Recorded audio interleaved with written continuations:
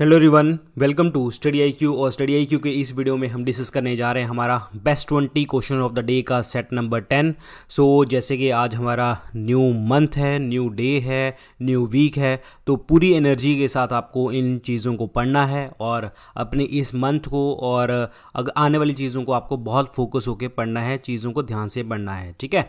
सो so, ये देखते हैं और ये हमारे यूपीएससी ईपीएफओ e जितने भी एग्ज़ाम है स्टेट एग्ज़ाम है उनके लिए आपको हेल्प करेगा। और इस वीडियो को लेके आ रहा हूँ मैं। मेरा नाम है doctor Vipin Goyal. So so, देखते हैं आगे। आप मुझे डिफरेंट सोशल मीडिया के साथ जुड़ सकते हैं। खास करके आप मुझे इंस्टाग्राम और टेलीग्राम ग्रुप के साथ जुड़ जाइए। टेलीग्राम ग्रुप के ऊपर जितने भी लेक्चर्स होते हैं वो और प्लस पीडीएफ आपकी यहाँ पे शेयर की जाती है। कल रात को मैंने जो है पीडीएफ यहाँ पे शेयर कर दी थी और इंस्टाग्राम के ऊपर जो है मैं काफ़ी एक्टिव रहता हूँ। जो बच्चे मैसेज करते हैं, मैं उनका जवाब भी देता हूँ। हालाँकि कई बार ऐसा हो जाता है कि लेट हो जाए, लेकिन मैं जवाब देता हूँ इंस्टाग्राम के ऊपर, ठीक है?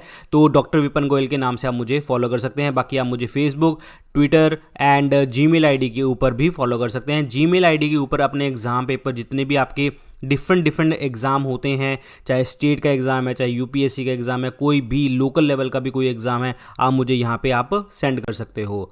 और आगे बढ़ते हैं, और यहाँ पे देखिए जो जनरल अवेयरनेस का कोर्स है हमारा, मैंने आपको बताया था ये जो है आज से स्टार्ट हो जाएगा यानी कि एक जून से स्टार्ट हो जाएगा। सो so, एक जून को यानी कि आज इस क्लास की इसकी इस क्लासेस स्टार्ट हो जाएँगी। तो आप अभी भी जो है इसके अंदर इनरोल कर सकते हैं टेन थाउज़ेंड एम के अंदर। और इसको करना क्या पड़ेगा आपको? स्टडी आईक्यू ऐप आप डाउनलोड कीजिए। स्टडी आई क्यू जैसे ही आप ऐप डाउनलोड करेंगे तो वो आपको ऐसे होम पेज पे ले आएगा। जहाँ आप प्ले स्टोर से डाउनलोड कर लो या फिर आपको नीचे लिंक मिल जाएगा।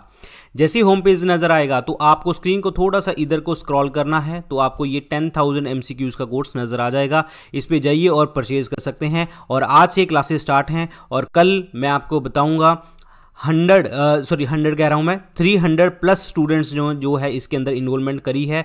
तो काफ़ी मैं बहुत उत्सुक हूँ कि जो आज जो मेरी क्लास जाने वाली है इसके अंदर, क्योंकि इसके अंदर दो लेक्चर्स आपके जाएँगे, ठीक है? डेली दो लेक्चर्स जाएँगे। और दूसरा है हमारा बेस्ट सेलिंग कोर्स और इसके अंदर जो है जीएस कोर्स आप परचेज कर सकते हैं। ये सारा का सारा थियरी कोर्स है। और थियरी कोर्स के अंदर हमने चैप्टर वाइज चीज़ें डिस्कस की हुई हैं। और जिस दिन आप खरीदोगे, ये सारे के सारे लेक्चर्स आपको मिल जाएँगे। ये सारी की सारी ऑलरेडी प्री रिकॉर्डेड वीडियोज़ हैं 290 प्लस इसके अंदर वीडियोज़ हैं।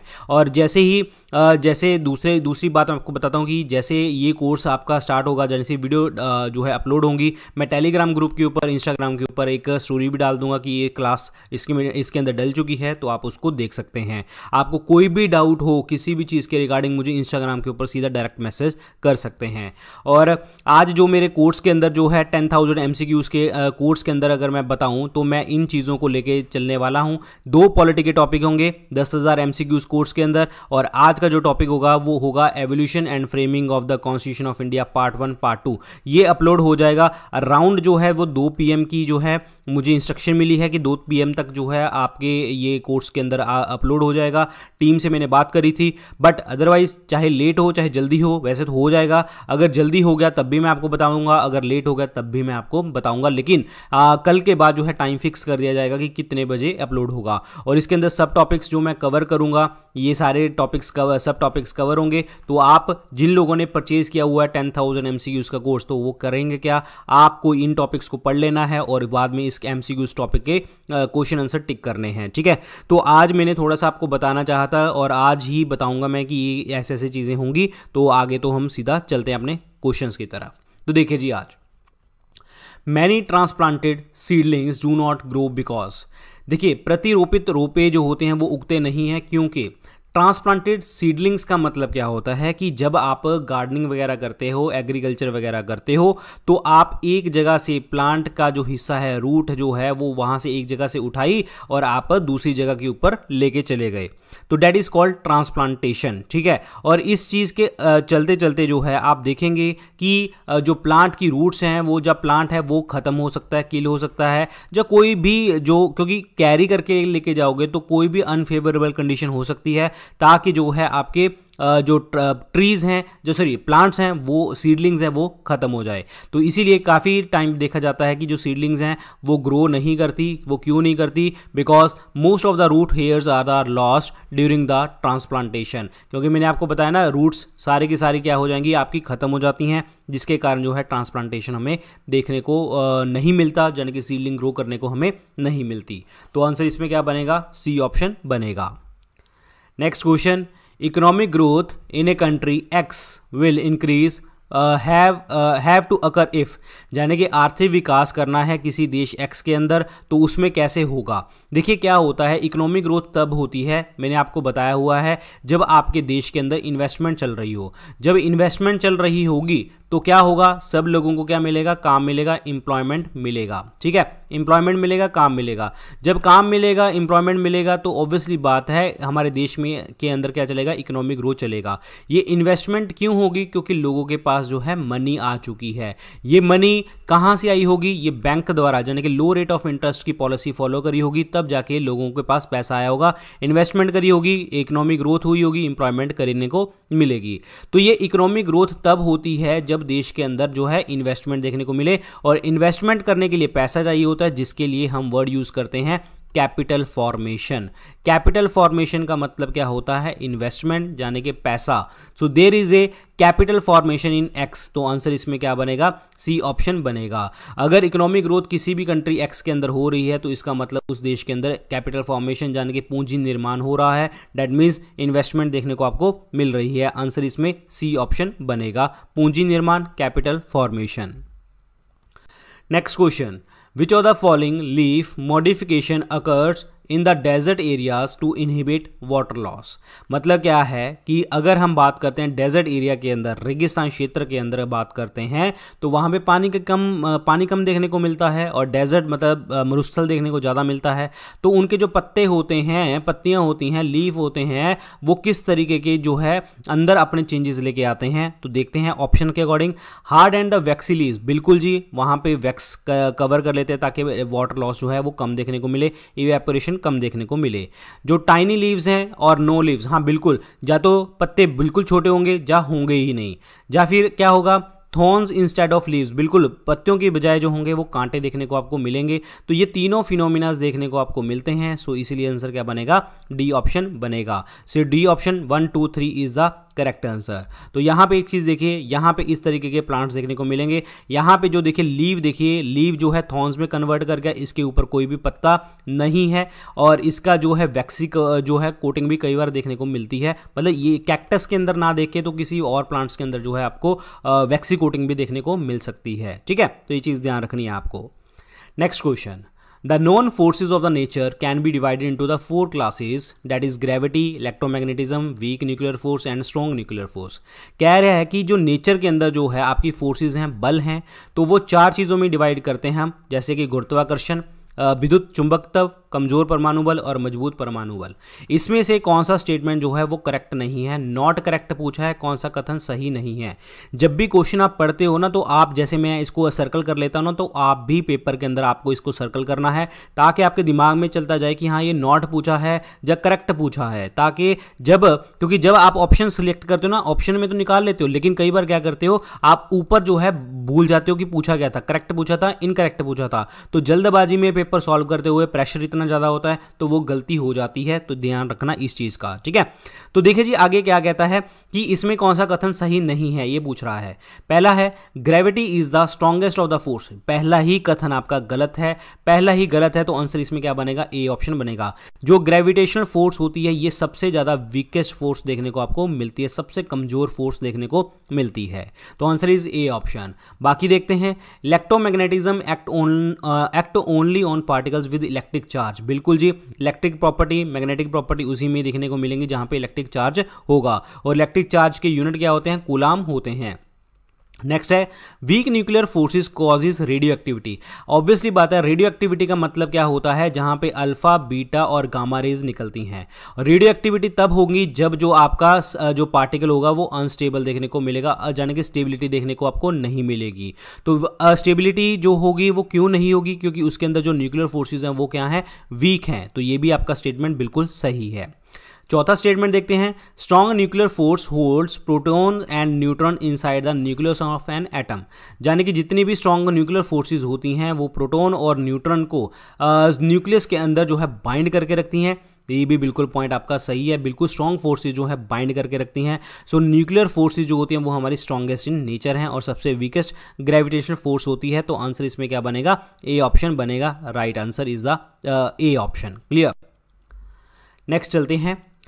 The efforts to detect the existence of Higgs boson particle have become news past what are the importance of discovering this particle Higgs boson particle की बात कर रहा है जी news में था, ठीक है? हिग्स बोसन कन जो है न्यूज़ में थे, बहुत टाइम पहले भी न्यूज़ में थे। तो ये जो पार्टिकल है, ये किस चीज़ की इम्पोर्टेंस के लिए बात करता है? कि क्या चीज़ है? किस चीज़ के लिए बात करता है? देखिए हिग्स बोसन पार्टिकल जो है, पहली बात तो एक एलिमेंट्री पार्टिकल है। बहुत ही माइन्यूट पार्टिकल है, छोटा पार्टिकल है। एलिमेंट्री पार्टिकल है और इसके अंदर जो है आपके पार्टिकल फिजिक्स थ्योरी के अंदर बात आती है कि हाँ कि जितने भी छोटे छोटे पार्टिकल्स हैं, वो डिस्कवर किए गए, वो कोलाइड किए गए और हिग्स बोजन जो है आपकी एलिमेंट्री फॉर्म में ये पार्टिकल नज़र आ जाते हैं। जैसे हिग्स बोजोन पार्टिकल हो गया, ठीक है मिजोन वगैरह, ये एलिमेंट्री पार्टिकल्स देखने को आपको मिलते हैं। और ये हिग्स बोजोन जो है, ये आपके जो जो मतलब बोसोन वगैरह को जो है जैसे हम पर्टिकुलर फ़ील्ड लगाते हैं तो बोजोन बोजोन जो है आपका हिग्स बोजोन पार्टिकल जो है उसको अट्रैक्ट करता है जो है क्लस्टर्स में बन जाता है। जस्ट ये चीज़ें आपको पता होनी चाहिए, ठीक है? ज़्यादा डिटेल में, बहुत ज़्यादा डिटेल में मत घुसना नॉर्मल चीज़ है। तो आंसर इसमें क्या बनता है, देखते हैं। तो पहले पॉइंट कहता है it will enable us to understand to why elementary particles have mass बिल्कुल, ये हमें बताता है कि ये क्या बताता है कि एलिमेंट्री पार्टिकल्स का मास के बारे में बताता है। मैंने अभी आपको बताया कि हिग्स बोजन पार्टिकल किसके बारे में बताता है? एलिमेंट्री पार्टिकल्स तो आंसर तो ए ऑप्शन तो बनेगा। ठीक है? दूसरा it helps it will enable us in the near future to develop the technology of transferring matter from one point to another without traversing the physical space between them ऐसा कुछ भी नहीं है जी, कि हाँ एक जगह से दूसरी जगह ट्रांसफ़र कर लोगे और अब विदाउट द फ़िज़िकल स्पेस ऐसा कुछ भी नहीं है। ठीक है? थर्ड है it will enable us to create better fuel for the nuclear fusion ऐसा भी कुछ नहीं है। एलिमेंट्री पार्टिकल है। हम इसके अंदर uh, जो है मैग्नेटिक प्रॉपर्टीज़ इलेक्ट्रिक प्रॉपर्टीज़ और uh, जो है आपका इलेक्ट्रोमैग्नेटिज्म वगैरह uh, या फिर आप ऐसे कह सकते हो कि अट्रैक्शन की प्रॉपर्टीज़ जो आपके पार्टिकल्स हैं किस तरीके से जो है आपकी मून जो मून है वो स्लो घूमता है तेज़ घूमता है। इतने छोटे छोटे पार्टिकल्स की उनकी जो मैग्नेटिक फ़ील्ड है, वो इलेक्ट्रोमैग्नेटिक फ़ील्ड है, वो क्या है, कैसी है, वो चीज़ें हम डिस्कस करेंगे। मतलब इसके अंदर हम वो चीज़ें ढूंढेंगे। तो इसीलिए ऑप्शन क्या बनेगा जी आपका? ए ऑप्शन ही बनेगा। Only one is the correct answer next question mycorrhizal biotechnology has been used in rehabilitating degraded sites because mycorrhiza helps to plants to देखिए क्या कहते हैं कि जो माइक्रोआइजल जो होती है, जैविक प्रति योग की होती है, ये जो जितने भी ख़त्म साइट्स होती हैं, यानी कि ख़राब साइट्स होती हैं, ख़त्म होती हैं तो वहाँ पे जो है रिहेबिलिटेट जाने के उनका जो है पुनर्वास करने में मदद करता है और ये किस तरीके से मदद करता है किसी भी प्लांट को। जब भी आप कह रहे हो कि ना जब डिग्रेडेड है तो इसका मतलब क्या है कि वहाँ पे जो है आपकी सॉइल एब्जॉर्प्शन करवा देगा, ठीक है? या फिर आप ऐसे कह सकते हो कि वो वहाँ पर प्रोडक्टिविटी इंक्रीज कर देगा, या फिर ऐसे या डिज़ीज़ से बचा लेगा एनीथिंग ऐसे कोई फैक्ट्स होंगे तो देखते हैं पहला पॉइंट तो resist drought and the increase absorptive area बिल्कुल सही ऑप्शन है जी सूखे को रोकेगा और जो है अवशोषण में, क्षेत्र में वृद्धि करेगा. दूसरा है tolerate extreme of pH pH value को जो है टॉयलेट करेगा, बिल्कुल हाई टेम्परेचर को भी ये जो है टॉयलेट करता है. हैवी मेटल्स को भी ये टॉलरेट करता है। रिजिस्ट डिज़ीज़ इन्फेस्टेशन यानी कि आपके बीमारी के अगेंस्ट जो है काम करता है, बिल्कुल करता है जी। तो आंसर इसमें क्या बनेगा? आपका डी ऑप्शन बनेगा। One two three is the correct answer और मैं आपको बता देता हूँ कि जो माइक्रोराइजा है माइक्रोराइजा जो है, ये आपके जो जितनी भी रूट डिज़ीज़ होती हैं, उनको बचाने में काम करता है उसकी सप्रेशन सप्रेशन कर देता है और ये जो है न्यूट्रिएंट्स को एब्जॉर्प्शन एब्जॉर्प्शन करने में मदद करता है, जो कहाँ से आते हैं सॉइल वगैरह से आते देखने को मिलते हैं। क्लियर तो ये माइक्रोराइजा वैसे जो होती है that is a mutualism that is symbiotic association किसके बीच में होती है? फंगस और एल्गी के बीच में देखने को आपको मिलती है। दोनों बीच में ये क्या मिलती है हमें? डेट इज़ डेट इज़ जो है आपकी सिम्बॉयटिक एसोसिएशन देखने को मिलती है। क्लियर और देखते हैं इसके अंदर आंसर इसका डी ऑप्शन बन गया। अब आपको एक पिक्चर दिखाता हूँ। तो यहाँ पे देखिए जी क्या है? ये एक प्लांट है। तो ये माइसिलियम उसने बना लिया हाईफे बना लिए, जिसके कारण जो है वो क्या कर रहा है? न्यूट्रिएंट एक्विजिशन कर रहा है अपने प्लांट के अंदर। ठीक है? ये माइक्रोराइजल आपकी उसके अंदर चलता है। अगर विदाउट माइक्रोराइजा होगा फंजाई होगा तो इस तरीके से दिखेगा। Sorry with micro with fungus दिखेगा तो इस तरीके से ग्रो करेगा और विदाउट होगा तो इस तरीके से ग्रो करेगा। तो माइक्रोराइजा जैसे मैंने आपको बताया कि this is the association between the algae और द फंगस तो आंसर इज़ जो है इसमें इसीलिए डी ऑप्शन बना था। Next question who among the following constitute the national development council national development council के अंदर इनमें से कौन सी चीज़ें सही हैं? राष्ट्रीय विकास परिषद के अंदर पॉइंट सही कौन से हैं? तो राष्ट्रीय विकास परिषद जो है 1952 में बना था। अगर आपसे पूछा कि अगस्त 1952 में, ठीक है? तो अगस्त 1952 में बना था, ना तो ये कॉन्स्टिट्यूशनल बॉडी है, ना ये स्टैचूटरी बॉडी है। तो ये डिसीज़न क्या लेती है? जितने भी प्लानिंग कमीशन की चीज़ें होती थी, जो फाइव ईयर प्लान का कॉन्सेप्ट बनाते थे, उसका डिसीज़न लेता था Rashtriya Vikas Parishad National development Council और इसके अंदर जितने भी मेंबर्स थे आपके प्लानिंग कमीशन के, वो होते थे। प्लस नेशनल डेवलपमेंट काउंसिल में प्लानिंग कमीशन के अलावा जितने भी चीफ मिनिस्टर होते थे स्टेट्स के, वो इसका पार्ट पार्ट होते थे। तो देखते हैं National development Council Council Rashtriya Vikas परिषद के अंदर लोग कौन होते थे?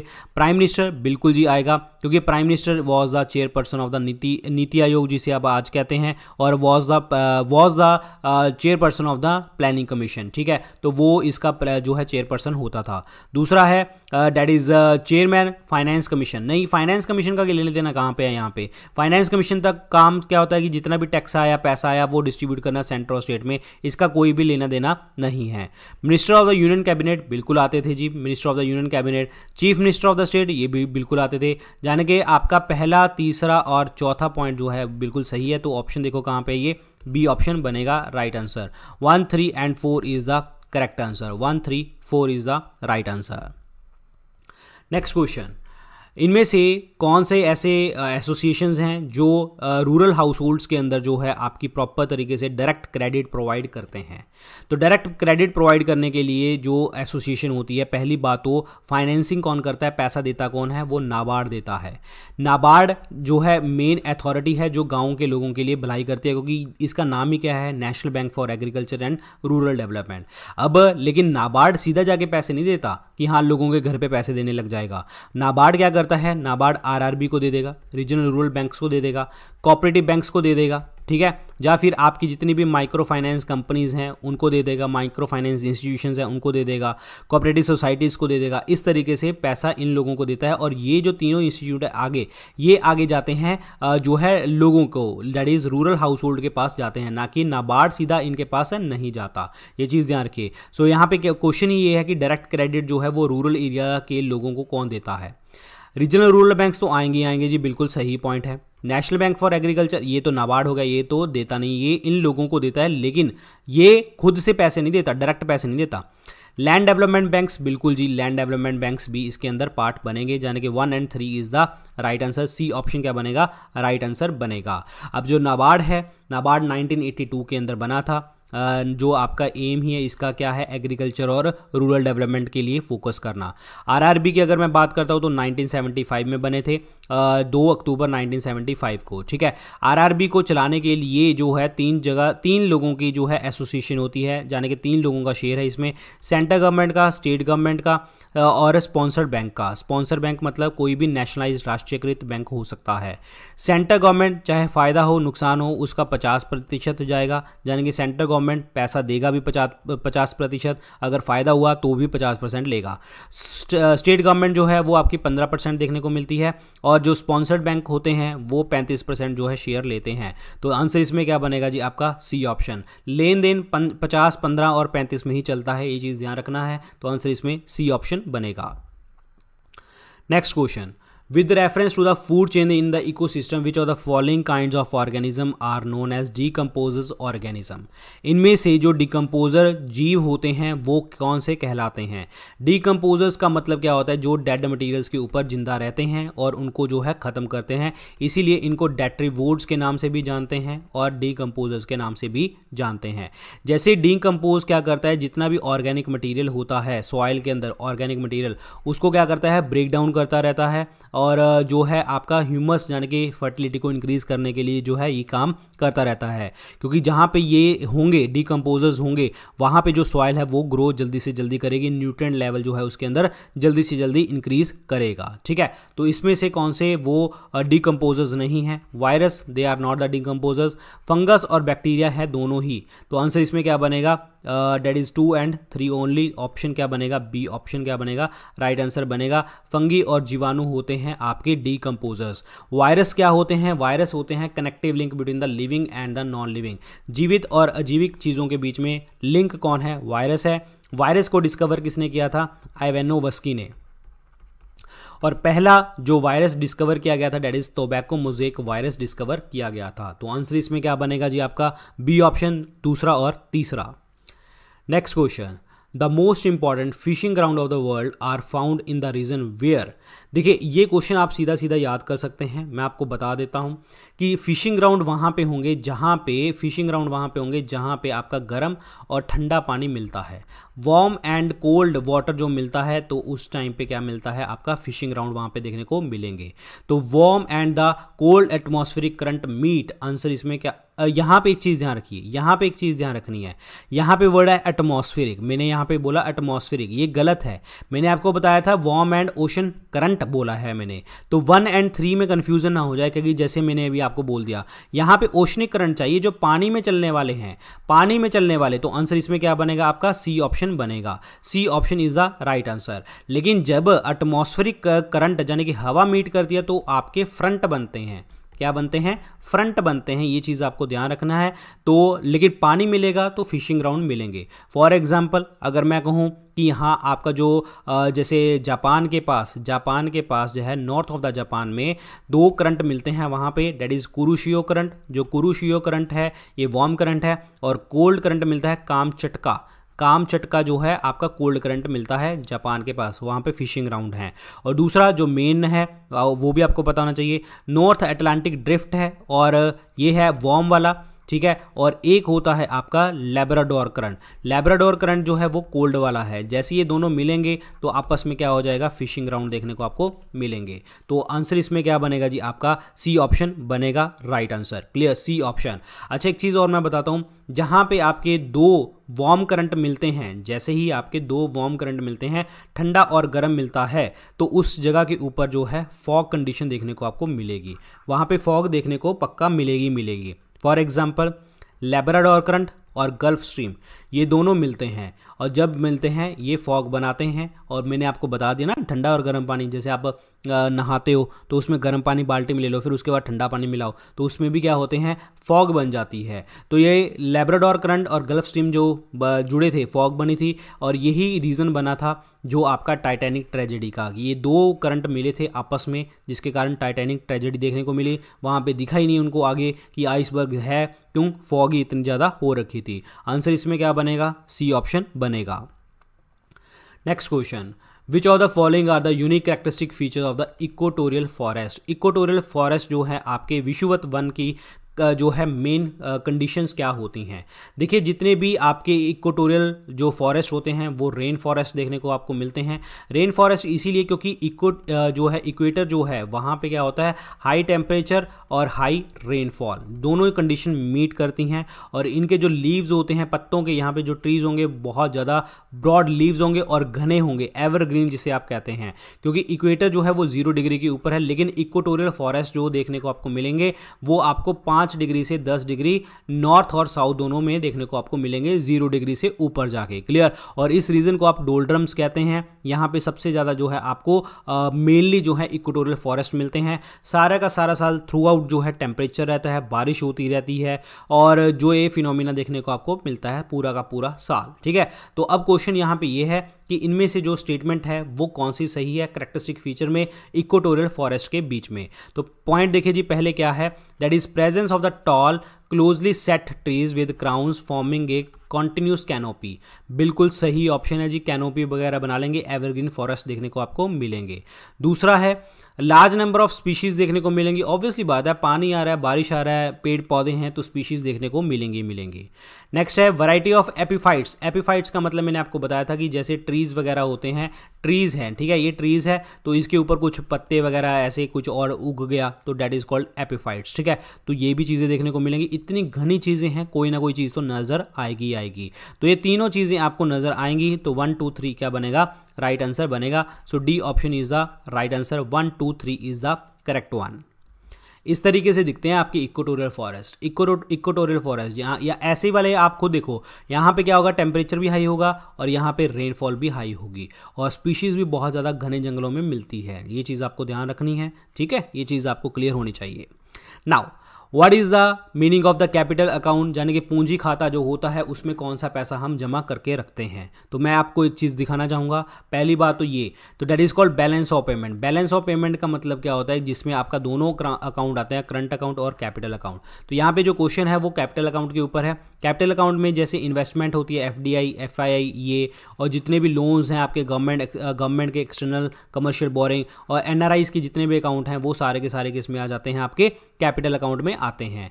और यहाँ पे करंट अकाउंट में जिसमें आपका गुड्स जो है, आपका जो है ट्रेड हो रहा है, उसमें आता है, ठीक है? और जैसे गुड्स और सर्विसेज़ वगैरह जिसमें देखने को मिलती हैं तो यहाँ पे देखिए जी, जैसे crude oil cars mobiles computer gold और प्लस सर्विसेज़ देखिए income transfers remittances donation gift dividend profit जैसे इंटरेस्ट और प्रॉफिट ये सारे के सारे किसमें आते हैं? आपके करंट अकाउंट में आते हैं। क्लियर तो यहाँ पे देखिए जी, अब क्वेश्चन जो आपको दिखाया था कि यहाँ पे कौन से कैपिटल अकाउंट में बनेंगे कैपिटल अकाउंट का मतलब जहाँ पे लॉन्ग टर्म के लिए पैसा आता है। जैसे कि फॉरन लोन्स हो गए एफ़ हो गया, एफआईआई हो गया और पोर्टफोलियो मैनेजमेंट जिसे आप एफआईआई कहते हैं, प्राइवेट रेमिटेंसेज नहीं, प्राइवेट रेमिटेंसेज मैंने आपको बताया था कि करंट अकाउंट में देखने को आपको मिलते हैं। तो यहाँ पे देखिए जी, ट्रांसफर्स की बात आई थी, ये आगे रेमिटेंसेज वगैरह देखने को मिलते हैं। बाकी यहाँ पे एफ़ डी और एनआरआई के अकाउंट्स जितने भी बोरोइंग है, वो सारे के सारे इसमें आएँगे। तो इसका मतलब थर्ड ऑप्शन नहीं आएगा, बाकी वन टू फोर आएँगे तो आंसर इसमें क्या बनेगा?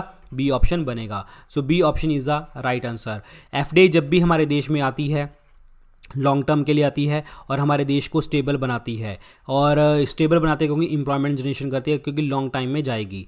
और एफआईआई जो होती है पोर्टफोलियो मैनेजमेंट जिसे आप कहते हैं, ये शॉर्ट टर्म के लिए पैसे लगाते हैं और ये जैसे इनको प्रॉफिट दिखे, ये भाग जाते हैं। और इसी कारण इस इकोनॉमी इस मनी को हम क्या कहते हैं हॉट मनी एफआईआई को। और ये नो no डाउट कि कुछ टाइम के लिए स्टेबल होते हैं, लेकिन लॉन्ग टाइम में स्टेबल नहीं होते, भाग जाते हैं जैसे इनको प्रॉफिट नज़र आता है। सो नेक्स्ट क्वेश्चन देखते हैं जी अब। तो इन प्लेसेस को देखना है। मुराल पेंटिंग्स के बारे में बात कही गई है कि हाँ जी, इनमें से जो भित्ति चित्र हैं, वो कौन से हैं? मुराल पेंटिंग्स इसमें से कौन सी हैं? तो पहले तो मुराल पेंटिंग्स के बारे में बताना चाहूँगा कि मुराल पेंटिंग्स इस तरीके की दिखते हैं। मुराल पेंटिंग्स में होता क्या है? जो मेनली जैसे कि, जैसे कोई ह्यूमन फॉर्म आपको नज़र आ जाएगी कि हाँ किसी चीज़ के अंदर वो किसी चीज़ के अंदर वो बैठे हैं, कोई आर्ट फॉर्म है, चाहे वो कॉन्वेक्स हो फ्लैट हो कॉन्केव हो, किसी भी चीज़ के अंदर जो है वो प्रॉपर तरीके से बैठे हैं और फेसिस के जो एक्सप्रेशन है वो देखने को मिलते हैं। ये मैंने इसीलिए बनाई क्योंकि ये मुराल पेंटिंग है। क्लियर मुराल पेंटिंग है क्योंकि ये कृष्ण जी की ये थी और अदरवाइज़ ऐसी फ़ोटो मिलती थी जो पुरानी फ़ोटोज़ थी तो मैंने आपको बता दिया कि ये भी दिखा देता हूँ, ये भी दिखा देता हूँ। तो ये भी मुराल पेंटिंग है, ये भी आपकी मुराल पेंटिंग है। तो यहाँ पे कोई ना कोई एक चित्र है कि यहाँ पे कोई ना कोई चीज़ हो रही है, कोई ना कोई आपके जो मतलब कोई स्क्रिप्ट हो सकती है एनीथिंग कोई भी मतलब कोई बात हो सकती है, कोई डांस फॉर्म हो सकती है, इस तरीके से आपको ये चीज़ें नज़र आ जाएँगी। क्लियर मतलब आर्टिस्टिक स्टाइल देखने को मिलेगा रियलिज्म देखने को मिलेगा एक्सप्रेशन देखने को मिलेंगे इमोशंस देखने को मिलेंगे हैंड पोस्टर्स देखने को आपको मिलेंगे। जैसे आपको पिक्चरों में नज़र आ रहा है, जैसे पिक्चर में नज़र आ रहा है। तो ये क्वेश्चन पूछ रहा है कि ये कहाँ पे, कौन सी जगह के ऊपर जो है मुराल पेंटिंग्स देखने को मिलती हैं? तो यहाँ पे देखिए जी, जैसे आपका अजंता केव्स बिल्कुल अजंता केव्स जो हैं, आपके विजयनगर एम्पायर के टाइम पे बनी हुई हैं। और ये जो है अजंता केव्स कहाँ पे, महाराष्ट्र के अंदर बिल्कुल इन्होंने काम किसमें किया है मुराल पेंटिंग्स में किया है। लिपाक्षी टेंपल जिसे आप वीरभद्र टेंपल भी कहते हैं, जहाँ पे लार्जेस्ट नंदी हैं तो ये टेंपल भी जो है आपका इसके अंदर बना हुआ है, मुराल पेंटिंग्स के अंदर सांची स्तूप का लेना देना कुछ भी नहीं है तो इसीलिए वन और टू ऑप्शन क्या बनेंगे? राइट आंसर बनेंगे, बी ऑप्शन क्या बनेगा? राइट आंसर बनेगा। B option is the correct answer. Next चलिए जी। Biodiversity forms a basis for the human existence in the following ways biodiversity का मतलब जैविक विविधता जो इनमें से किस चीज़ का आधार बनाती है? बायोडाइवर्सिटी किस चीज़ का आधार बनाती है? देखिए बायोडाइवर्सिटी का मतलब क्या होता है कि वहाँ पे चीज़ों को ग्रो करवाना। वहाँ पे जैविक विविधता का मतलब क्या है? Plants animals large number of species जो हैं, एक जगह के ऊपर एग्जिस्ट करती हैं। और जिससे क्या होगा कि सॉइल भी फर्टिलिटी बनती रहेगी, आपका एग्रीकल्चर भी वहाँ पर ज़्यादा होता रहेगा ह्यूमन स्पीशीज़ भी वहाँ पर ज़्यादा रहेगी, और साथ के साथ जो है आपका जो है बहुत सारी species large number of species forest होंगे, जंगल होंगे, जैसे कि फॉर एग्जांपल आपका वेस्टर्न घाट तो यहाँ पे सारी चीज़ें आपको देखने को मिलती हैं। तो देखिए जी बायोडाइवर्सिटी के लिए पॉइंट बताना है, बता रहा है कि कौन सा सही है। सॉइल फॉर्मेशन देखने को मिलेगी, मिट्टी का निर्माण देखने को मिलेगा, बिल्कुल सही है। नेक्स्ट है prevention of the soil erosion मृदा अपर्दन को जो है रोकथाम करना, ये भी बिल्कुल देखने को आपको मिलेगा। रिसाइकलिंग ऑफ़ द वेस्ट यानी कि कचरे का पुनः जो है वेस्ट को दोबारा से रिसाइकल करना, ये भी पॉइंट देखने को मिलेगा। क्रॉप्स की पॉलिनेशन देखने को मिलेगी, फ़सलों का परागन देखने को मिलेगा, ये भी बिल्कुल देखने को मिलेगा। सो ये चारों स्टेटमेंट आपकी बिल्कुल करेक्ट हैं जी। सो आंसर क्या बनेगा आपका? डी ऑप्शन बनेगा। One two three four is the right answer for the biodiversity जो आपके बायोडाइवर्सिटी में देखने को मिलेंगे जो आपका सबसे ज़्यादा स्पीशीज़ देखने को मिलेंगी। रिसाइकलिंग होगा, पॉलिनेशन होगी, सॉइल इरोजन दूर हो जाएगी, सॉइल फॉर्मेशन देखने को मिलेगी, ह्यूमन स्पीशीज़ बहुत सारी रहेंगी और इकोलॉजिकल बैलेंस रहेगा, इकोनॉमिकल बैलेंस रहेगा, पेपर जो wax, rubber, perfumes, lubricant, oils, बहुत सारी चीज़ों के जो प्रोडक्ट्स हमें देखने को मिलेंगे। और बहुत सारी चीज़ें जो हमारे जो डेली लाइफ के अंदर ग्रो करेंगी, हेल्प करेंगी, वो चीज़ें देखने को मिलेंगी। Answer is D option. Next question aspartame is an artificial sweetener aspartame is an artificial sweetener sold in the market it consist of amino acids and provide a calories like amino acids yet it use as a low calorie sweetening agent in the food items what is the basis of this देखिए क्या कह रहा है। Aspartame जो है, ये एक जो है आर्टिफिशियल तरीके से हमने जो है मीठा बना रखा है। इसके अंदर जो होते हैं अमीनो एसिड देखने को मिलते हैं और कैलोरीज भी अमीनो एसिड जैसे देखने को मिलती है। बट फिर भी ये लो कैलोरी स्वीटनिंग एजेंट होता है जो हम खाते हैं। इनमें से कौन सा स्टेटमेंट जो है, वो इसके अंदर करेक्ट बनता है। पहली बात तो मैं आपको बता दूँ जैसे आप शुगर फ्री चीज़ें खाते हो शुगर फ्री मतलब जो वो जो गोली सी खाते हो ना शुगर फ्री वाली येलो डब्बी में होती है शुगर फ्री वाली तो वो एक आपका आर्टिफिशियल स्वीटनर होता है। जैसे आप उसको खाओगे ना, आप भी नॉर्मल खा के देखना, कोई दिक्कत वाली बात नहीं होती। हाँ बट एक्सेस में खाना नहीं चाहिए, सिर्फ़ डायबिटिक पेशेंट्स के लिए वो होती है। अगर आप खाओगे ना तो भी आपको जैसे चाय में डाल लो, दूध में डाल लो तो आपको मीठा मीठा महसूस होगा। क्यों? आप कहेंगे कि हाँ मैंने चीनी ही डाली है और बहुत चम्मच डाली है। द रीज़न वाई क्योंकि जो आर्टिफिशियल स्वीटनर है, ये जो है आपका नॉर्मल शुगर से भी इतना ज़्यादा मीठा होता है बट इसके अंदर जो है ऑक्सीडेशन करी जाती हैं, ठीक है? बहुत तरीके से जो है आपका एस्पार्टेम डाल दिया जाता है और बहुत सारी चीज़ें हैं जो इसकी कैलोरीज को लूज़ कर देती हैं और कैलोरीज कम आ जाती है। ठीक है? तो इसमें ऑप्शन देखते हैं क्या बनेगा। Aspartame is sweet as a table sugar नहीं, बिल्कुल मैंने आपको बताया कि एस्पार्टेम ज़्यादा स्वीटनर होगा। बहुत मल्टीपल यानी कि अगर मैं बात करूँ कि 200 टाइम्स लगा लो minimum 200 times minimum 200 times sweeter होगा, ये चीज़ ध्यान रखिए। When aspartame is used in food processing, the sweet taste remains, but it uh, becomes a resistant to oxidation. नहीं ऐसा नहीं है जी ऑक्सीडेशन होगा टाइम लाइफ टाइम बढ़ जाएगा उसका लेकिन ऐसा नहीं है कि वो ऑक्सीडेशन करने से बच जाएगा तो ये भी गलत ये भी गलत Aspartame is sweet as sugar, but after ingestion into the body, it is converted into metabolite, metabolites that yields no calories.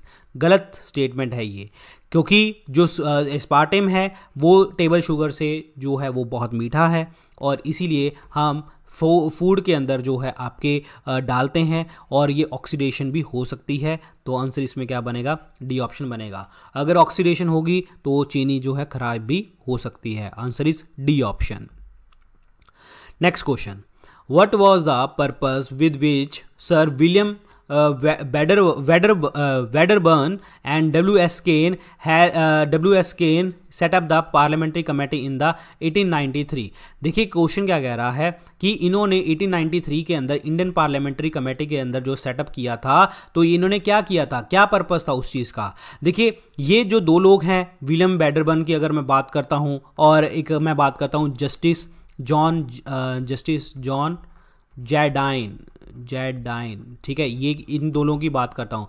वेडबन और जस्टिस जॉन जो है जैरडाइन की बात अगर मैं करूँ तो ये इन्होंने इंडियन नेशनल कांग्रेस जो है बनाना, इन्होंने इंडियन नेशनल कांग्रेस जो है बनाया था। इंडियन नेशनल कांग्रेस जो बना था, वो बना था 1885 के अंदर, अठारह ईस्वी के अंदर बना था। गोकुलदास तेजपाल कॉलेज, जो संस्कृत कॉलेज था और ए ओ ह्यूम की मदद से बना था, लेकिन ये इसके अंदर ये भी लोग थे, वेडबर्न भी था, जॉन जेरडाइन भी थे। और ये चाहते क्या थे कि इंडियन नेशनल कांग्रेस बने और जो इंडियंस हैं, उनको जो है फ़ायदा हो। ठीक है? तो इसीलिए जो सर विलियम बेडरवन और डब्ल्यू एस केन का जो मुद्दा था, वो क्या था कि हाँ वो सिर्फ़ और सिर्फ़ इंडियन पॉलिटिकल रिफॉर्म चाहते थे। हाउस ऑफ़ कॉमन के अंदर इन्होंने एजुटेशन किया था, विरोध किया था कि लोगों को जो है, आपके जो इंडियंस हैं, उनको जो है राइट्स मिलने चाहिए और इसी चीज़ के कारण जो है, इनका नाम जुड़ता है हमारे इंडियन नेशनल कांग्रेस के जो स्टार्टिंग में जब बनी थी तो अंग्रेज़ों का हेल्प हुई थी तो वो ये अंग्रेज़ थे जिन्होंने हेल्प करी थी। हाउस ऑफ़ कॉमन के लिए जो है भारतीय राजनीतिक सुधारों के लिए इन्होंने आंदोलन करने की बात करी थी वहाँ पे। तो आंसर इसमें क्या बनेगा? ए ऑप्शन बनेगा। नेक्स्ट क्वेश्चन सीएफएल और एलईडी लैंप के अंदर जो है, वो डिफरेंस क्या है? कॉम्पैक्ट फ्लोरोसेंट लैम्प और light emitting diode C F L और एल ई डी दोनों में फ़र्क आपको पता ही होगा, जैसे आपका 100 वॉट का बल्ब होता है, वो सी एफ़ एल होता है एल ई डी का बल्ब होता है ज़ीरो टेन वॉट के अंदर भी उतनी एनर्जी दे देता है और शेल्फ लाइफ बड़ी होती है, ठीक है? मेन डिफरेंस क्या पूछता है? वो ऑप्शन के अकॉर्डिंग ही निकलेगा। पहला देखिए to produce light a C F L use mercury vapour and phosphor while LED uses semiconductor material बिल्कुल ऑप्शन सही है जी। एलईडी के अंदर सेमीकंडक्टर होता है सीएफएल के अंदर मरकरी और फॉस्फोरस होता है। और मेनली जैसे आपके जैसे अगर मैं बात करूँ कि आप, आपके जितने भी सोलर कुकर वगैरह होते हैं, जैसे उसमें भी सेमीकंडक्टर होता है और सिलिकॉन वगैरह देखने को आपको मिलता है, ठीक है? तो आंसर इसमें ए ऑप्शन तो बनेगा। दूसरा है average life of C F L is much longer than that of a D lamp C F L की लाइफ इतनी ज़्यादा नहीं होती एल ई डी लैम्प की ज़्यादा लाइफ होती है तो दूसरा स्टेटमेंट आपका बिल्कुल गलत हो जाता है। तीसरा है a C F L is a less energy efficient as compare to L E D lamp L E D lamp जो होता है, ये एनर्जी बहुत ज़्यादा देता है और सी एफ़ एल जो है आपकी जो less energy efficient as compare to the L E D lamp question ध्यान से समझना है कि सी एफ़ एल जो है एनर्जी लेस देता है as compare to LED lamp बिल्कुल सही है जी। एनर्जी एलईडी लैम्प ज़्यादा देता है एलईडी इसलिए देता है क्योंकि इसकी शेल्फ लाइफ यानी शेल्फ लाइफ कह सकते हो या लॉन्ग लाइफ कह सकते हो, इनकी ज़्यादा होती है। और आंसर इसमें क्या बनेगा जी? आपका थर्ड ऑप्शन भी बनेगा राइट आंसर यानी कि ए ऑप्शन और थर्ड ऑप्शन क्या बनेगा? राइट आंसर सी ऑप्शन क्या बनेगा? यहाँ पे करेक्ट आंसर बन जाएगा। केवल वन और three is the right answer next recently oil zapper was in news देखिए, यहाँ पे रिसेंटली वर्ड हटा दो क्योंकि पुराने क्वेश्चन है। ऑयल जैपर का काम क्या होता है? मेनली ऑयल जैपर का काम होता क्या है? ये आपको पता होना चाहिए। ऑयल जैपर जो होता है, एक जितने भी आपका ऑयल स्पिल्स होते हैं, ठीक है? और जितने भी तेल फैलाव हो गया, कीचड़ हो गया, तेल का कीचड़ हो गया तो उसको जो है दोबारा से दोबारा से बनने की, बनाने की कोशिश करता है ताकि जो वो हमारा पर्यावरण है, यानी कि इको फ्रेंडली वो चीज़ बना सके। तो ऑयल जैपर मेनली किसके लिए यूज़ होता है? Eco friendly technology for the remediation of oil sludge and the oil spills answer इसमें क्या बनेगा? ए ऑप्शन बनेगा राइट right आंसर जितने भी बैक्टीरियल स्ट्रेन्स होते हैं, उनको ख़त्म करके जो है आपका रेमिडेशन स्पिल्स और बहुत हजार्डियस हाइड्रोकार्बन वेस्ट को ख़त्म करके और बहुत अच्छा प्रोडक्ट बनाता है और ताकि हमारे जो, जो इन्वायरमेंट है उसको कोई नुकसान ना हो पाए। तो आंसर इसमें ए ऑप्शन बनेगा। नेक्स्ट क्वेश्चन है। क्वेश्चन क्या कहता है? एक मैरिड कपल है उन्होंने एक बच्चा मेल चाइल्ड अडॉप्ट किया है। कुछ सालों बाद देखा कि उनके दो बच्चे और हो गए। ब्लड ग्रुप जो कपल का है वो ए बी पॉजिटिव है और ओ नेगेटिव है। लेकिन तीनों बच्चों के जो है, तीनों सन के जो जो ब्लड ग्रुप है वो ए पॉजिटिव है बी पॉजिटिव है ओ पॉजिटिव है। लेकिन क्वेश्चन ये है कि अडॉप्टेड चाइल्ड का जो है ब्लड ग्रुप क्या होगा? ये बहुत सिंपल सा क्वेश्चन है। मैंने अपने कोर्स के अंदर बता रखा है आपको क्या, कैसे। देखिए जी क्या होता है। जैसे ए बी है, ठीक है? तो ए बी को मैंने आपको बताया था कि हमेशा जो है दो चीज़ों में डिपेंड करती हैं चीज़ें। तो ये हमेशा आई ए और आई बी बनता आई बी बनता है, ठीक है? और दूसरा ब्लड ग्रुप की कौन सा है? आपका ओ सो ओ का क्या बनता है जी? ये आई ओ बनेगा या आई ओ बनेगा, ठीक है? अब क्या होगा कि इसके साथ फ्यूजन करवा दो मतलब मल्टीप्लीकेशन करवा दो, क्या बन सकता है? तो क्या बनेगा जी? एक साइड पे आई ए आई ओ बनेगा ठीक है? आई ए आई ओ बनेगा और एक बनेगा आई बी और आई ओ बनेगा, ठीक है? इस तरीके के बच्चे बनेंगे, यानी कि ए पॉजिटिव बनेगा बी पॉजिटिव भी बनेगा, ठीक है? बाकी यहाँ पे जो है ओ नेगेटिव बच्चा भी बनेगा, लेकिन बात ये है कि तीन बच्चे उन्होंने बोला है जिसमें आपके ऑप्शन क्या दिए हैं? ए पॉजिटिव बी पॉजिटिव और ओ पॉजिटिव तो इसमें तीसरा बच्चा कौन होगा? जब ए बी पॉजिटिव बन रहे हैं इन दोनों के ब्लड से तो ऑब्वियसली बात है जो अडोप्टेड चाइल्ड होगा, वो क्या होगा? ओ पॉजिटिव ब्लड ग्रुप होगा. तो आंसर इसमें क्या बनेगा? ए ऑप्शन बनेगा. ओ पॉजिटिव बच्चा जो है, वो अडोप्टेड चाइल्ड देखने को मिलेगा. Next question Mahatma Gandhi said that some of its his deepest conviction were reflected in a book titled unto this last and the book transformed his life what was a message from the book that transformed Mahatma Gandhi देखिए unto his last जो book है, ये किसकी है? John Ruskin की book है। इस book को पढ़ा था, और इन्होंने क्या स्टेटमेंट्स दी थी, वो हम देख के चलते हैं कि क्या चीज़ें हैं। देखिए, क्वेश्चन क्या कहता है जो इनकी लाइफ को चेंज किया? इन्होंने कहा कि राइजिंग ऑफ़ ऑल का कॉन्सेप्ट दिया। राइजिंग ऑफ़ ऑल यानी कि राइजिंग ऑफ़ ऑल का मतलब सर्वोदय का कॉन्सेप्ट दिया। मतलब सबका उदय। आप सबको रिसोर्सेज प्रोवाइड हैं, सबको रिसोर्सेज हैं। काम करो, हिम्मत करो, मेहनत करो, सबको चीज़ मिलेंगी, ठीक है? लेकिन ऐसा नहीं है कि आप किसी से छीन रहे हो। अगर आप, पता है, कहीं पे भी चले जाओ रिसोर्सेज सबके पास हैं, काम करना पड़ेगा, मेहनत करनी पड़ेगी, कोई भी बंदा जो है, मेहनत के बिना कुछ नहीं बन सकता। अगर मैं कहूँ, अपने लिए भी मैं बात करूँ तो मैंने मेहनत करी है, मैंने हार्ड वर्क किया है, और आप मुझे सुन रहे हो। अब आपको कौन सुनेगा? जब आप हार्डवर्क करके बहुत जगह दूर पहुँच जाओगे, ताकि आपको लोग सुने। तो ये जो चीज़ बात करी थी, यही आपके सर्वोदय के कॉन्सेप्ट में बात करी गई है, महात्मा गांधी ने कॉन्सेप्ट में बात करी गई है, ठीक है? तो इसमें स्टेटमेंट देखते हैं, पहला पॉइंट क्या है? Uplifting the oppressed and poor is the moral responsibility of the an educated man ये बिल्कुल सरासर गलत वर्ड है, ये कुछ भी ऐसा नहीं था। मैं आपको देखो, इसमें आपको एक लॉजिक चीज़ बताता हूँ, जो लाइफ के लिए भी लॉजिक हो और वैसे भी पता हो। अगर आप एक चीज़ बताओ, अगर कोई पढ़ा लिखा इंसान है एजुकेटेड एजुकेटेड चाइल्ड है, वो ऐसा नहीं है कि वो अमीर है, यानी कि वो जो है उसके घर वाले रिच हैं जब वो ऐसा नहीं है कि वो पुअर है। अब आप खुद देखो इंडिया के अंदर जो बच्चा पुअर है, वो भी जो है बहुत अच्छा पढ़ सकता है। वो, क्योंकि रिसोर्सेज इतने सारे हैं आप पढ़ने वाले होने चाहिए। आप ये नहीं होना चाहिए कि आपके अंदर ये होना चाहिए कि जो है नहीं, मेरे पास रिसोर्सेज नहीं है, मैं पढ़ नहीं सकता। 200 300 400 रुपए का रिचार्ज जो है, बच्चा, अगर मैं कहूँ, कोई भी बच्चा रिचार्ज करवा सकता है अपने पेरेंट्स से लेके और इसमें अपनी जैसे वीडियोस देखते हैं, वैसे। ऐसा नहीं है कि जो बच्चा पढ़ा लिखा है, उसकी रिस्पॉन्सिबिलिटी है कि जितने भी गरीब लोग हैं, उनको उठाना। गरीब लोगों को मेहनत करनी है, गरीब लोगों को उठना है क्योंकि मैं अगर अपनी बात करूँ, मैं भी बहुत बैकग्राउंड से आया हूँ, मैं भी एक पुअर बैकग्राउंड से आया हूँ। मैंने मेहनत करी, आज इस जगह के ऊपर पहुँचा, आप भी पहुँच सकते हो। हमेशा मैं यही बात करता हूँ कि पुअर लोग ऐसा समझ आएँगे हम गरीब हैं। आप गरीब तब होगे जब आप मान लोगे। आप हमेशा अमीर हो, अमीर तब हो, तब, कब अमीर हो? जब आपने सोच लिया कि मुझे कुछ करना है ज़िंदगी में, ठीक है? आप अमीर हो, आपका अगर इरादा पक्का है तो आप अमीर हो। आपका एम ये नहीं है कि किसी सड़क से उठ के बंदे को उठाओ और कहो कि आप पढ़ लो भाई। अगर उसके अंदर ही नहीं मन है पढ़ने का तो आप कैसे पढ़ा सकते हो? तो ये चीज़ ऐसा गलत है कि uplifting the poor is a moral responsibility of the educated man clear तो ये पूरा का पूरा सरासल जो है, ये स्टेटमेंट गलत है। ये ऐसा कुछ भी नहीं है। लेकिन कुछ बच्चे जो है, मेरी स्टेटमेंट से मुझे पता है कि गालियाँ भी देंगे मैसेज भी करेंगे मुझे कि हाँ आपने ऐसे कैसे बोल दिया। ऐसा स्टेटमेंट बिल्कुल गलत है। ठीक है? दूसरा है the good of the individual is content in the good of all the good of the individual is content in the good of all बिल्कुल सही है जी। इसका मतलब क्या होता है? ये इसका मतलब होता है राइजिंग ऑफ़ ऑल यानी कि सबका उदय। राइजिंग ऑफ़ ऑल यानी कि सर्वोदय का कॉन्सेप्ट ठीक है? सर्वोदया का कॉन्सेप्ट बिल्कुल सही चीज़ है। क्लियर ये चीज़ आपको क्लियर होनी चाहिए। अब good of individual is content in good of the all the all का मतलब क्या है? देखिए, समझिए चीज़ को। ध्यान से समझना है, क्योंकि ये छोटी छोटी चीज़ें हैं, समझनी ज़रूरी होती हैं। अब इसमें क्या है कि गांधी जी ने मैंशन किया कि राइजिंग ऑफ़ ऑल का कॉन्सेप्ट दिया, ठीक है? इसमें जब गांधी जी कह रहे हैं कि हाँ सबको उठने का, सबको काम करने का एक जो मौका है, वो आप ले सकते हैं। सबका उदय कर सकते हैं राइजिंग ऑफ़ ऑल कर सकते हैं।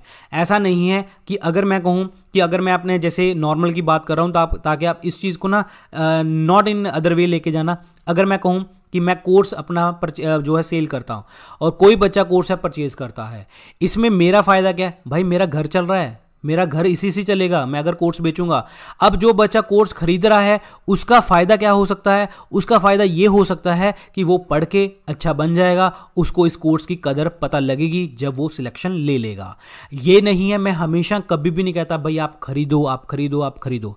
आपकी मर्ज़ी है, आपको लगता है कि मुझे कोर्स से पढ़ना चाहिए, मैं अपना टाइम वेस्ट नहीं करना चाहता कहीं और जगह के ऊपर तो आप कोर्स परचेज कीजिए, ठीक है? तो इसको ऐसे मत समझना कि मैंने यहाँ पे ऐड कर दी। आपको एक समझाने के लिए बात समझा रहा हूँ कि जब राइजिंग ऑफ़ ऑल का जो मतलब है क्या है कि अगर आप एक को, दूसरे को काम दे रहे हो, अगर मैं देखूँ, मैं भी किसी कंपनी में काम कर रहा हूँ ना तो मैं कंपनी में काम कर रहा हूँ कंपनी मुझे पैसे दे रही है तो कंपनी भी उठ रही है। तो सेम वही, अगर आप कल को जॉब करोगे तो जॉब वाले बंदे, जो गवर्नमेंट वाले बंदे होंगे गवर्नमेंट होगी, वो आपको किस चीज़ के लिए पैसे देगी? भाई तुम उसके लिए काम करके दे रहे हो। तो सेम वही चीज़ है यह होता है सर्वोदय का कॉन्सेप्ट जो महात्मा गांधी जी ने दिया था। ठीक है? तो बी ऑप्शन इसमें राइट आंसर बनेगा। तीसरा है the life of celibacy and the spiritual pursuit are essential for the noble double life ऐसा कुछ भी नहीं है जी, ऐसा कुछ भी लेना देना इन्होंने कुछ नहीं बोला। तो डी तो गलती बन जाएगा। तो आंसर इसमें क्या बनेगा जी? आपका बी ऑप्शन बनेगा। व्यक्ति की भलाई जो है, सबके हित में ही निहत होती है। So answer is B option is the correct answer clear so ये थे आज के लेक्चर के अंदर क्वेश्चन बाकी आपको इस लेक्चर की पीडीएफ आपको, जो है टेलीग्राम ग्रुप के ऊपर मिल जाएगी। और इंस्टाग्राम के ऊपर मुझे फॉलो करना मत भूलना, क्योंकि मैं काफ़ी हाईली एक्टिव रहता हूँ यहाँ पे। और आप जो है मेरा जीएस कोर्स परचेज कर सकते हैं।